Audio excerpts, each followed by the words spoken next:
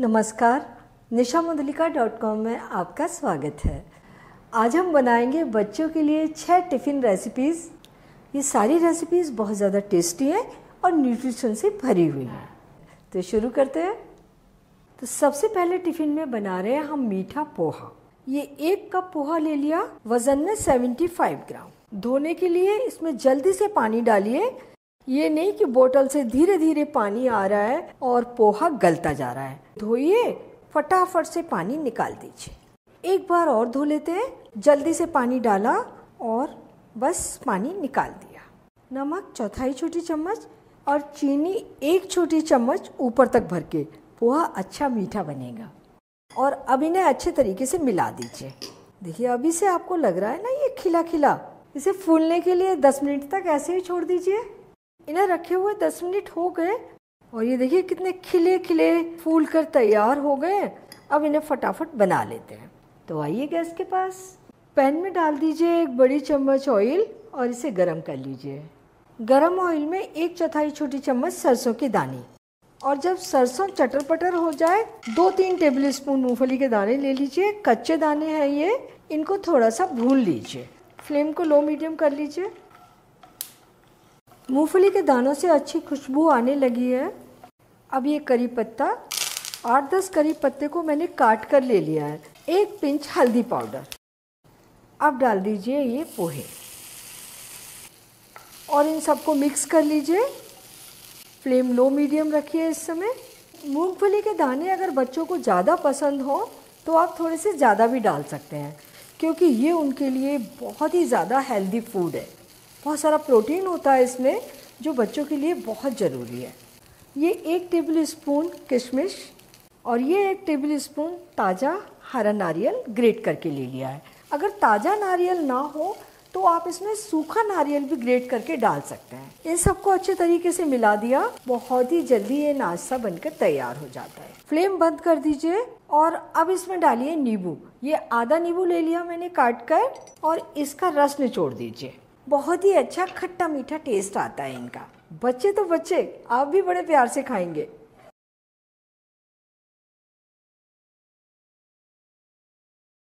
अब tiffin arrange कर लेते हैं और ये इसमें एक छोटा डब्बा रहता है, इसमें डाल देते हैं हम थोड़े से ग्रेप्स पोई के साथ में थोड़े से फल भी मिल जाए जो बच्चों को पसंद हो। और अब ये पोहा डाल दीजिए। जितना बच्चा खाता है उसके हिसाब से आप रख दीजिए। और साथ में ये स्पून ये टिफ़िन तैयार हो गया। और ये बचे हुए पोहे, ये मीठे पोहे आपको भी बहुत पसंद आएँगे। और टिफ़िन नंबर दो में मैं बना रही हूँ पराठा पैक तो ये एक कप गेहूँ का आटा, चौथाई छोटी चम्मच से भी थोड़ा सा कम नमक या स्वाद अनुसार, और एक छोटी चम्मच घी। ऑयल से भी पराठे बना सकते हैं। मिलाया और थोड़ा थोड़ा पानी डालते हुए आटा गूथ लिया। ये मैं आटा तुरंत गूथ रही हूँ, अगर आपके पास फ्रिज में आटा गुथा हुआ है तो आप पराठा उसी से बना दीजिए। ये आटा गुथ गया इसे ढककर 10-15 मिनट के लिए छोड़ दीजिए और तब तक स्टफिंग तैयार कर लेते हैं। पैन में डाल दीजिए एक छोटी चम्मच घी और इसे गर्म होने देते हैं। चौथाई छोटी चम्मच से भी आधा जीरा डाल दीजिए और इसे हल्का सा भून लीजिए। जीरा भूनने के बाद डालिए हल्दी। ये भी चौथाई छोटी चम्मच से आधी है। और धनिया पाउडर चौथाई छोटी चम्मच। बिल्कुल ज़रा सी स्टफिंग बना रहे हैं। और ये आधी से भी कम शिमला मिर्च को बारीक काट लिया है। इसी के साथ डाल देते हैं चौथाई छोटी चम्मच नमक या स्वाद अनुसार। हल्का सा भून लेते हैं। चौथाई छोटी चम्मच ग्रेटेड अदरक। अदरक का पेस्ट ले सकते हैं। और अगर बच्चे नहीं पसंद करते हो तो नहीं डालें। तेज़ फ्लेम पर ही इन्हें हल्का सा भून लिया। और ये एक मीडियम साइज़ का आलू उबाल कर और मैश करके ले लिया है। और ये थोड़ा सा पनीर। बच्चों को वैरायटी फ़ूड ज़रूर मिलना चाहिए। जैसे आलू है, सब्ज़ी हो गई, शिमला मिर्च है, लेकिन उन्हें कैल्शियम भी बहुत ज़रूरी है। यहाँ थोड़ा सा पनीर डाल देंगे तो उनका खाना बड़ा हेल्दी हो जाएगा। और थोड़ा सा हरा धनिया। और इसमें मैं डाल रही हूँ चौथाई छोटी चम्मच से भी आधी कश्मीरी लाल मिर्च। बच्चों के लिए हल्के मसाले का ही खाना बनाना है। और अगर वो बिल्कुल मिर्च नहीं खाते तो आप ये मत डालिए। अब इनको मिलाते हुए थोड़ा सा भून लीजिए। ये स्टफिंग बन गई फ्लेम बंद। डो को रखे पंद्रह मिनट हो गए थोड़ा सा इसे मसल लेते हैं। ये तैयार हो गया। अब थोड़ा सा डो इसमें से निकाल लीजिए। ये एक रोटी या एक पराठा बनाते हैं, बस उतना ही डो निकाल लीजिए। और इसे सूखे आटे में लपेट दीजिए। अब इसे बेल लीजिए। थोड़ा सा घी लगा दिया और इसको इस तरीके से बंद कर लिया। और अब इसे दबाकर सूखे आटे में लपेट लिया और गोल बेल लिया। जैसा आप पराठे बनाते हैं रोज़ाना। ये सादा पराठा बेल रही हूँ मैं एकदम। वैसे तो स्टफिंग से ये पराठे भर के भी बना सकते हैं आप, लेकिन बच्चों को थोड़ा सा कुछ अलग सा बना के दे। तो उन्हें खाने में ज़्यादा मज़ा आता है। ये बेल लिया, बहुत ज़्यादा पतला नहीं है और मोटा भी नहीं है। ये पराठा डाल दीजिए इस पैन में और नीचे की ओर से थोड़ा सा सिकने दीजिए। इसका कलर थोड़ा डार्क हो गया, इसे पलट देते हैं।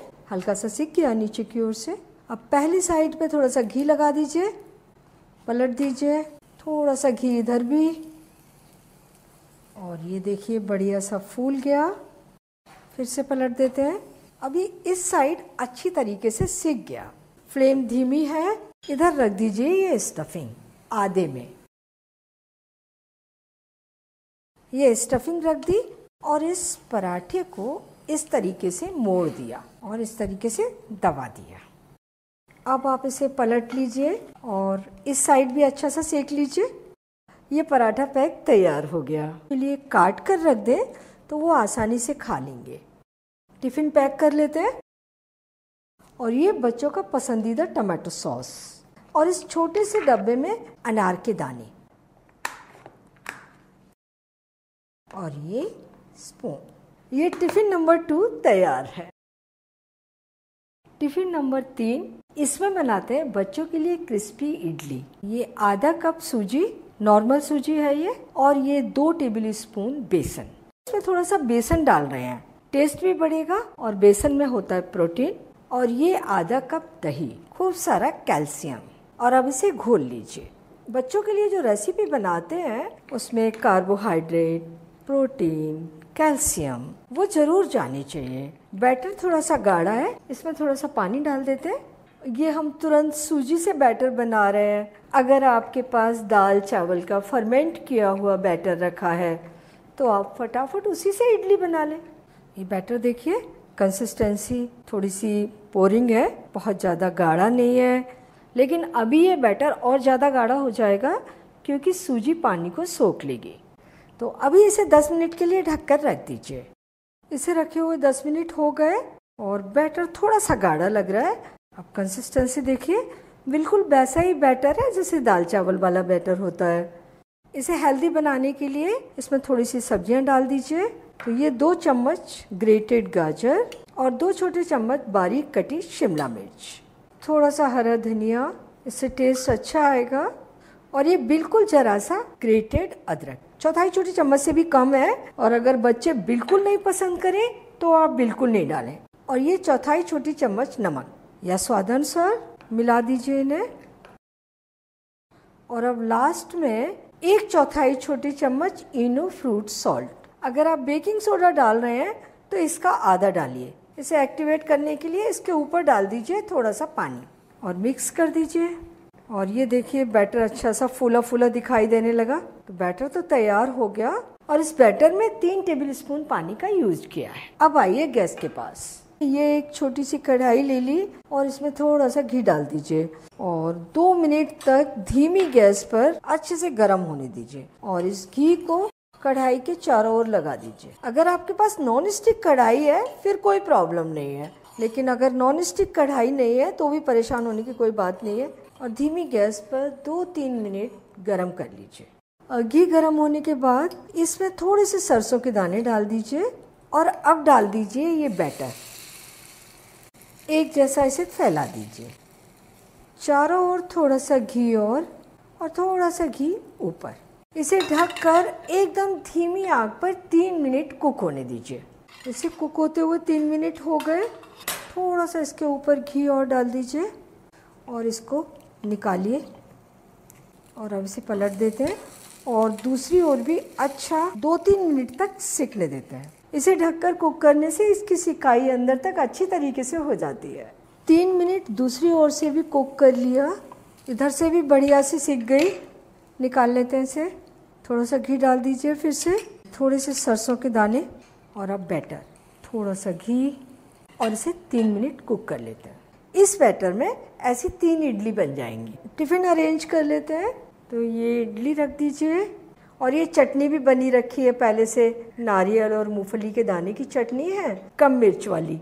इसे बच्चे बड़े प्यार से खाते हैं। और अगर बच्चे सॉस पसंद करते हैं तो आप सॉस रख दीजिए। और इसमें रख देते हैं दो खजूर। ये बच्चों को अच्छे लगते हैं और ये बहुत न्यूट्रिशियस भी है। ये टिफ़िन नंबर तीन तैयार। हाँ टिफ़िन नंबर फोर, इसमें बना रहे हैं सूजी और पनीर का पैनकेक आधा कप सूजी, कोई भी ले लीजिए, मोटी पतली, जैसी भी अवेलेबल हो, आधा कप दही। ये मैं जार में डाल रही हूँ ताकि ये जल्दी से अच्छे तरीके से घुल जाए। और ये एक पनीर का टुकड़ा बच्चों के लिए ढेर सारा कैल्शियम।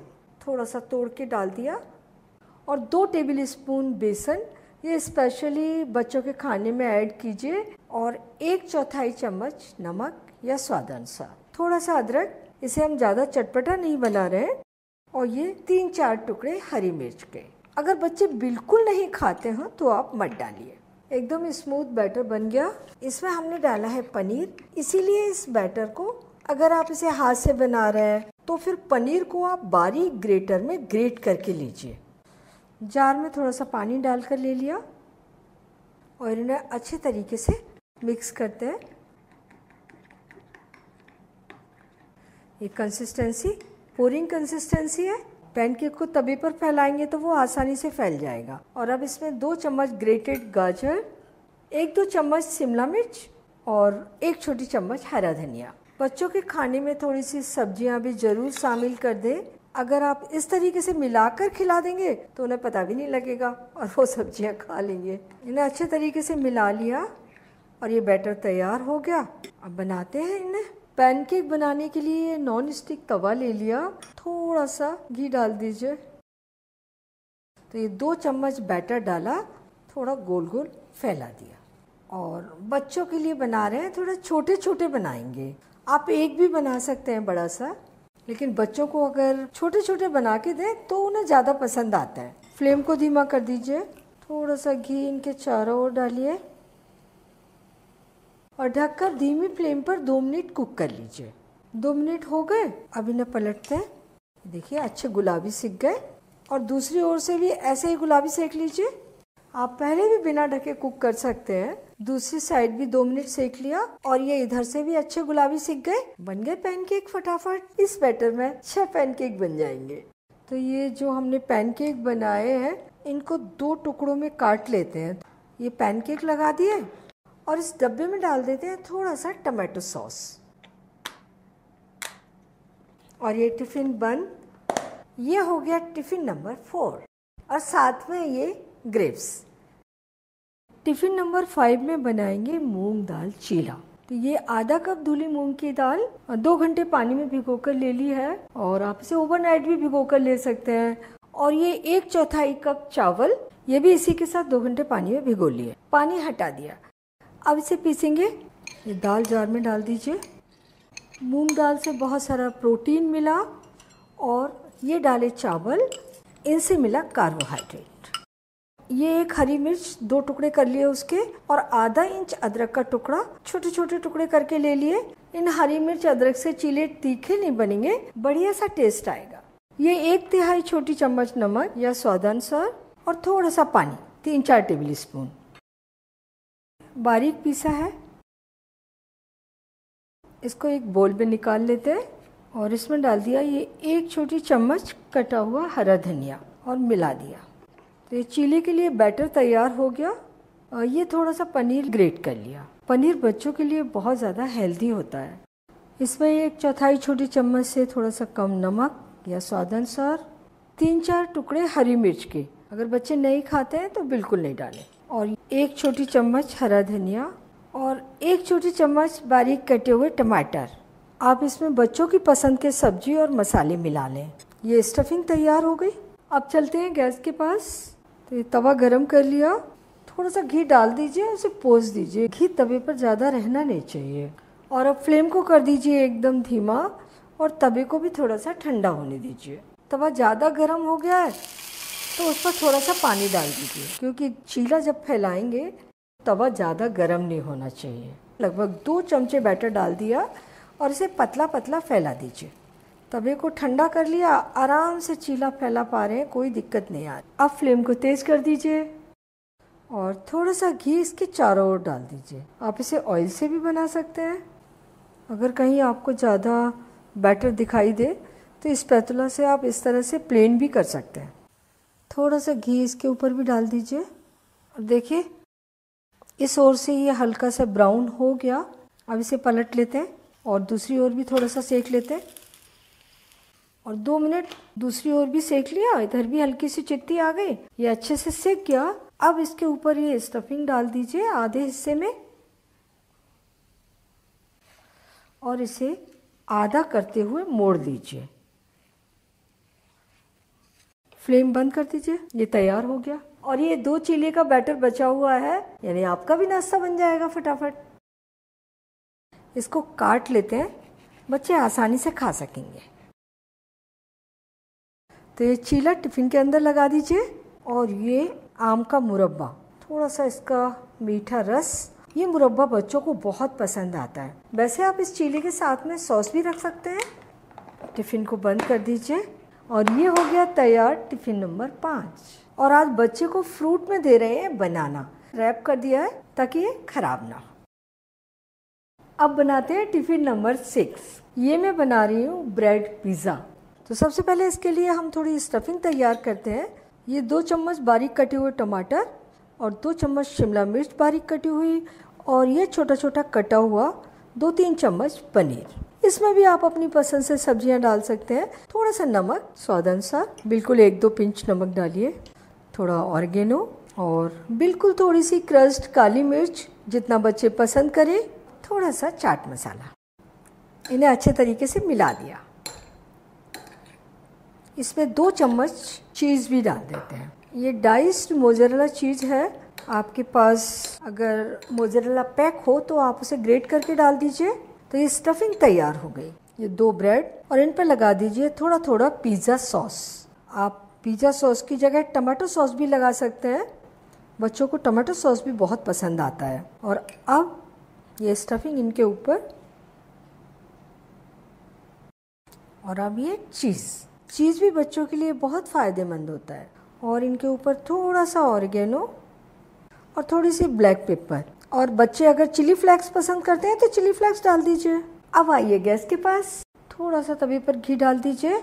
अब इन्हें सिकने के लिए रख देते हैं। और अब इन्हें ढककर चीज़ के मेल्ट होने तक कुक कर लेते हैं। फ्लेम लो मीडियम इन्हें सीखते हुए पाँच मिनट हो गए और चीज़ मेल्ट हो गया है। फ्लेम बंद। ब्रेड पिज़्ज़ा बनकर तैयार? इन्हें काट लेते हैं। पीसेस आप अपनी पसंद के बना लीजिए। अब टिफ़िन अरेंज कर लेते हैं।